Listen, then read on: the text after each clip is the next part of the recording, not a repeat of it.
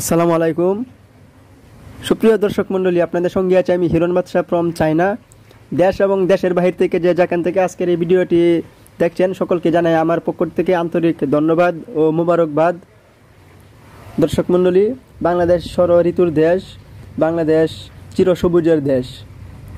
আপনারা দেখতে পাচ্ছেন, ঢাকা থেকে, গাজীপুর থেকে ময়মনসিংহ যাওয়ার যে রাস্তাটা, সেই রাস্তাটা কিন্তু একটা ভিআইপি একটা রুট আর বৃহত্তম ময়মনসিংহে কিন্তু আমার বাড়ি, আমার জন্মস্থান।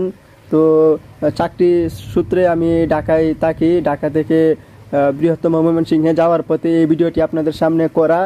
তো, দর্শক মণ্ডলী আসলে আমি কিন্তু টিকিট কিনে জানা বাসে উঠি, তারপর চিটে বসি। বসার পরে যখন বাস রান হয় তখন আমি লুকিং গ্লাস দিয়ে সামনের দিকে দেখতে পাই, আসলে সামনের পরিবেশটা খুব সুন্দর লাগতেছে।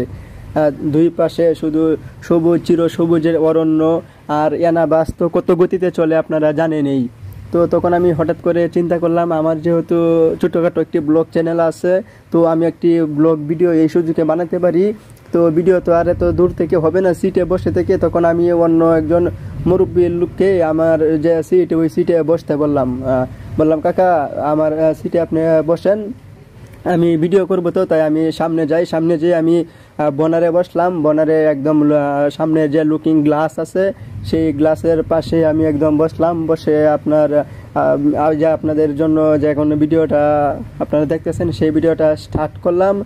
তারপর আপনার আমি যে বিষয়টা লক্ষ্য করলাম আপনার ঢাকা থেকে যদি আপনি গাজীপুর যান, সেই ক্ষেত্রে আপনার মনে করেন আবদুল্লাপুর এয়ারপোর্ট, টঙ্গী, বিভিন্ন জায়গায় বিভিন্ন জায়গায় জায়গায় অনেক জ্যাম পাওয়া যায়, অনেক জ্যাম, অনেক সময় লাগে।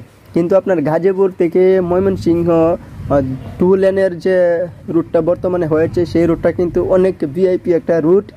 হ্যাঁ এমনকি এই রুটে আপনার কোনো জ্যাম, যানজট কোনো কিছু থাকে না। আপনারা হয়তো ভিডিওটা দেখে বুঝতে পারছেন। ইয়ানা বাস কিন্তু খুব দ্রুত গতিতে চলছে। আর আপনার বিভিন্ন ইয়ানাবাস তো আপনারা জানেন ইয়ানাবাস ছোট ছোট স্টেশনে থামে না, একদম গন্তব্য স্থলে যে থামবে। আপনার দেখতে পাচ্ছেন যে গাজীপুর থেকে ময়মনসিংহে যাওয়ার পথে যে রাস্তাগুলা লে- টু লেনের যে রুট, সেই রুটটিকে, সেই রাস্তাটা কিন্তু আসলে আপনার সেনাবাহিনীর তত্ত্বাবধানে নির্মিত হয়েছে, যার কারণে রাস্তাটা আপনার খুব সুন্দর হয়েছে, খুব মজবুত হয়েছে। আর আমাদের ময়মনসিংহের যারা এই ভিডিওটি দেখছেন আপনারা হয়তো রাস্তাটা দেখেই চিনতে পেরেছেন। এটা এটা হচ্ছে গাজীপুর থেকে ময়মনসিংহ যাওয়ার পথে রুট তো দর্শক মণ্ডলী ভিডিওটাতে হয়তো আমি বনারে বসেছিলাম। বাসের একদম লুকিং গ্লাসে অনেক সময় আমার হাত নড়েছে। তার জন্য আমি আন্তরিক দুঃখিত।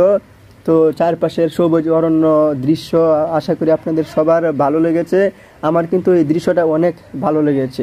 আমি কিন্তু ছোটবেলা আমরা যেরকম বইয়ে পড়েছিলাম তনুদান্নে পুষ্পে বরা আমাদের এই বসুন্ধরা। কোথায় গেলে পাবি দেশ? সকল দেশের রানী সেজে আমার জন্মভূমি। আসলে কিন্তু ঘর থেকে না বেরোলে বাংলার, আমাদের বাংলার যে চিরসবুজ অরণ্য, এত সৌন্দর্য আছে বাংলার। ঘর থেকে না বেরোলে আমরা যারা গ্রামে বসবাস করি, গ্রাম থেকে আসলে এতটা অনুভব করা যায় না। তো দর্শক মণ্ডলী, এতক্ষণ আমার ভিডিওটি দেখার জন্য আপনাদের সকলকে আবারও আমার পক্ষ থেকে আন্তরিক ধন্যবাদ জানাচ্ছি। সবাই ভালো থাকবেন, সুস্থ থাকবেন, নিরাপদে থাকবেন। আগামী দিনের নতুন কোনো ব্লগ দেখার আমন্ত্রণ রইল। ততক্ষণে সবাই ভালো থাকবেন, সুস্থ থাকবেন। আর মা বাবার খেয়াল রাখবেন। আল্লাহ হাফেজ।